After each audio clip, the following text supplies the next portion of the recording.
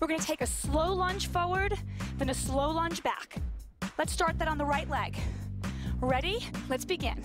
Slow and lift, now back. Now four arms to the side. Four, keep the elbows bent. Three, two, great, let's do the left leg now. Slow and lift, now back, slow and lift. Perfect, four raises. Now on the next pass, we're gonna cut it all in half.